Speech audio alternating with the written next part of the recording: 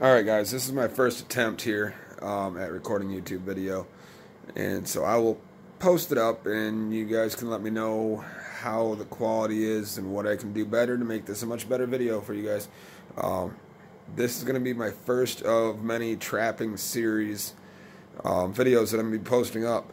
But I just want to give you a little overview and a look at what I've got going on here I am out in what would most people would call the fur shed. This is a fur garage, um, temporary until I get a fur shed built next spring. So I'll show you a little bit of the layout, what I've got going on, what my catches are for the season so far, and uh, hopefully you guys can give me some good advice on what I can do to upgrade not only the video, but maybe get some more catch. So we're going to start this look here. Okay, here we go. First part of my station here is going to be right here. This is the this is going to be the skinning table. This is where I start my process. Uh, I've got myself a couple of uh, couple of coon packaged up right here. Those will be fleshed down the night. I've got my vacuum seal packer, you know, some rubber gloves. Um, I've got my starting skinning knives over here. I've got coming to my next step after I get them fleshed out. I hang them up on my gambrel racks, of which I have, oh, four racks that I can put them in different process of, you know, how they're going here. I can start the skinning on the table, and then once I get the legs skinned down, I can hang them up on the gambrel racks. I can have four of them going and hanging at once, so I can do multiples at the same time. Um, coming over here to the next step. Uh, the next step would be the boarding, or would be the fleshing. This next step's the fleshing here. Turn a little better light so you guys can see what's going on here. Okay, I got my fleshing beam, and I got my box to catch all the fat underneath there. Uh, I've got all my traps on the wall that I've not put out yet this season. I've got about 30 or 40 traps I'm already using out in the woods right now. This is all the extras that I still have. Still need to go out this season. I got my trapping supplies. Oh, extra knives. And my supply catalogs and all my receipts for the year. Oh, what else do I got around here? Knives. And basic tools that I need to get the job done a roadkill log sheet. In Michigan, you have to log down and record all your roadkill that you grab for bait and for us guys that like to go and pick up the occasional roadside cash. So, yes, we all skin out roadkill just to add a little bit of fur to our pile and a little bit of cash to our till at the end of the season. Uh, yeah, that's kind of what I got going on over there. I've got my cabinet down here it's kind of buried right now. But that's got all my baits and lures and anything else I need in there. On this wall, I've got my boards for my coyotes, my coyote stretchers. And they're not the prettiest things, but they work. I've got regular board stretchers for coyotes right there.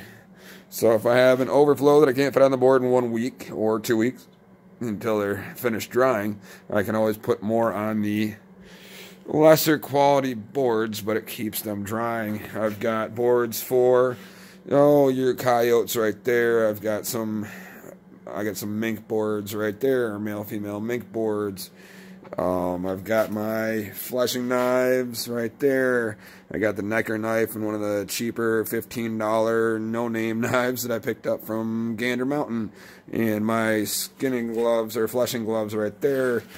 Um, let's see what else I got here. I got my last station would be my boarding table. My boarding table right there. That's where I board them and put them on the stretchers. Um, I got some supplies over here, you know, screwdrivers and such for pulling the staples out at the end. I got some clothespins, staplers, and most of the supplies I need. I have my, like I said, I got my coyote stretchers, I got my coon stretchers, I got my mink boards, I got my coyote boards, and I got all the belly boards. I've got myself my uh, wire stretchers up here. I so far, you know, in trying out both, I prefer wooden boards when my boards are full. I put all my overflow furs up onto my wire stretchers. I got my wire stretchers there, my large ones, and then my muskrat wire stretchers. I've got those there. Okay, now let's see what my catches for the year so far. We're about two months in, and I have caught a lot less than I would hope to by this point in the season. I have up here on the wall, that's my first muskrat for the year. My muskrat's on the wall. Um, I got a rack of 10 coon right there I just pulled off last night off the boards. They were up and drying. Those 10 are just pulled off. I have up on this rack here, I got one coon there. I've got a nice coyote right there. And I have, oh, on this first stringer rack here, I've got uh, the first two are groundhogs. And then I've got coon, coon, coon, coon, coon, and more coon over there. And then I've got on this wall, I've got another rack of, I don't know, I'd say about 20 on that rack of coon. Right there, I've got, oh, another 10 possum or so up on there.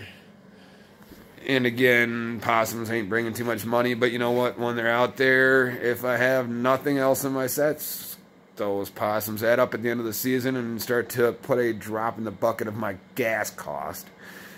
And especially my kill traps that I've got out, if you kill them, you might as well skin them. So those are up there. I've got, oh boy, what do I got there? There's a groundhog right there. The neighbor had a groundhog issue, no longer a problem. He had three or four groundhogs underneath his front porch of his home, taken care of, trapped, gone, no more groundhog problem, and they're hanging on my wall. I don't know what they're worth, but they'll be sent in for the fur auction, and that'll be money as well. So, uh, let's see what we got over here.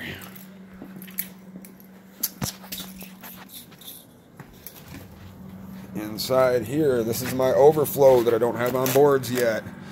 Oh, I've got right there a bunch of vacuum sealed. Uh, there's possums there. And trying to get a good view here for you. There are the two back packages there. There's some more coons. Uh, down at the bottom here, I got a real nice possum. That was my daughter's first catch on the line and because it's a good size and her first catch being six years old, a little girl out on the line, that one will be mounted, so that's a nice possum, that one's cool.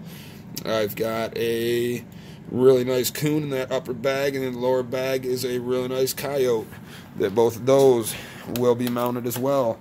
Um, yeah, my taxidermy guy, he's overflowed with my work right now, and as I get it back, you will see what I've got.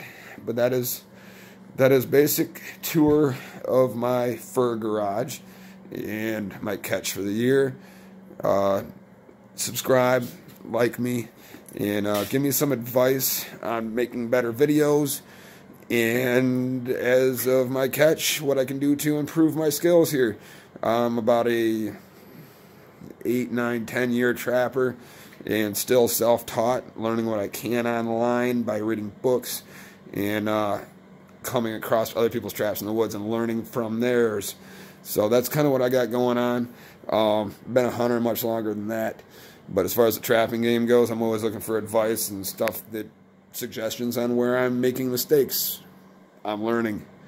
But being in the game five, six years on trapping, uh, doing it as hard as I can for at least the last three or four, I'd like to say that I'm pretty good at what I do, but I've always got room for improvement. So, you know, again, subscribe, like these videos, and uh, hit me up with some messages and some comments down below so I know what's going on here, and I'm always going to be reading them. Thank you.